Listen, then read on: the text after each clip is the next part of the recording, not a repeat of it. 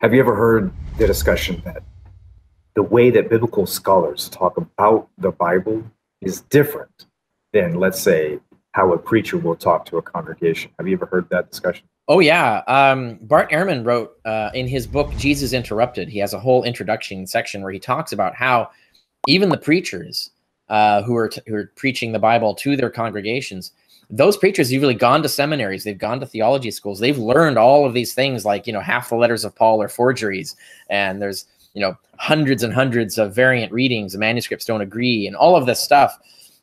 Uh, and and the, the sequence of the the fact that the Gospels were written decades after the epistles.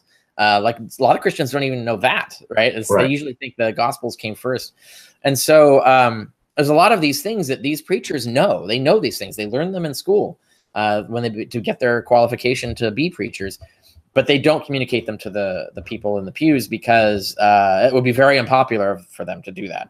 And Ehrman has his own analysis of why he thinks that is and how widespread it is, and I think he's right about that. Uh, that there is this sort of this sort of sense that don't tell the public that, right? right. Uh, and so uh, that definitely is going on a lot. Uh, you, you, don't get accurate history from the pulpit.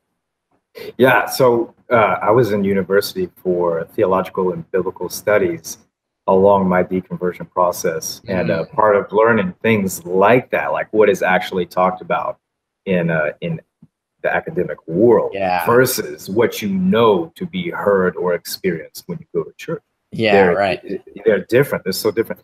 Um, so we got comments coming in. I want to throw yeah. something right back at you. We already we already touched on it, uh, but let me read this back to you. So Christian historians are therefore non-reliable when it comes to the Christian faith because of the fact that they are Christian. How do you how do you come back at that?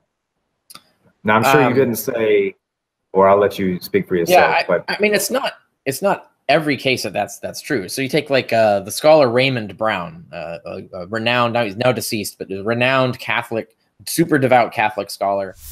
He was really good at distinguishing faith-based beliefs from what he could argue from history. And so if you read his his uh, and he's not right about everything, but he's he does that sort of he, he really attempts to be objective about what can you argue from historical evidence, and he admits almost nothing. Like very little of this can you actually argue to a high certainty from historical evidence. Most things like the virgin birth, it's just a faith belief. You you can't base it on historical evidence. And um, so you can have scholars like this, and there's a whole the whole tradition of liberal scholars as well um, that can achieve a certain amount of objectivity on a lot of things about Christianity. But fundamentalists can't because they have to have the Bible can't be it has to be inerrant uh, and it has to be the true literal word of God. And that that completely hobbles any honest objective approach to the texts and to the history. Uh, so I think fundamentalists like can only be good scholars and, and, reliable on things that they do not depend upon for their salvation. Uh, so so questions that quote unquote don't matter for their dogmas, maybe they can do good work on. But as soon as it's touching on any issue that they would be kicked out of their you know evangelical philosophical society for suggesting, as Mike Licona was, he was uh, kicked out of. Uh, he was fired from his job, the Christian, famous Christian apologist fired for his job for just suggesting that maybe the rise of the zombies and the end of Matthew was allegory and not literally true. So just suggest just suggesting that maybe it wasn't literally true, that it was just some sort of symbolic story. That got him fired. Uh, that was so, one of the most amazing stories, by the way, in the Gospels. that, was, that was absolutely every time you read over that, you, are kind of thinking, why is this not talked about? Like, right? Yeah, way more it reminds me of there's a line in Genesis 6 where it just says, and the watchers came down and had sex with women, and then there were giants in the world that day. And then it moves on. And you're like, whoa, whoa, whoa, hold on, wait, what? like, yeah, uh, there's a whole story there. Well, I want to hear that story. Why you just throw the line off? And then, of course, later, um, someone wrote essentially a fan fiction based on that one line in Genesis, and it's the Book of Enoch, right? Is this? It's the, they took this one line in Genesis that has this creepy, weird thing that it says you don't know what the hell they're talking about, yeah. and spun it out into this massive story, which the first Christians were treating as scripture. The Book of Enoch was among their scriptures. They thought it was a holy word of God. Yeah. Uh, so, um, so yeah, it reminds me of that. Uh, this idea. There's like this weird throwaway line wait a minute, wait, there were all these risen people that walked into the city. Wait, why, why don't we hear more about that story? Why don't we have more documentation of this, more detail? Yeah, exactly. Uh, it's, Um, and I think that's probably what Licona would say is an argument for it being allegorical, right? Is like clearly the author did not intend this to be taken literally. Maybe he did. I don't know, but um, but he certainly is very flippant about uh, the event, uh, considering. You know, the, the fact that somebody can get fired from their job for just kind of observing what we do have good evidence for, and then what we can speculate on, and then yep. what we might just say, hey, this part has to be taken on faith. We cannot say we know, we must say we believe. And to receive repercussions like that socially, especially from your community of faith, yeah. especially since you have not deconverted or otherwise. That's right. Um, that, but they're protecting something, right? Yes. They're protecting the institution. You can't let that little crack show. That's right. Oh you yeah, can't yeah. Let anybody trip up in it, and that actually happened to me in my community of faith. When I was deconverting, I asked a lot of questions, and uh, that's in fact why I made the the page, Facebook group, and all that fully mm-hmm. deconverted.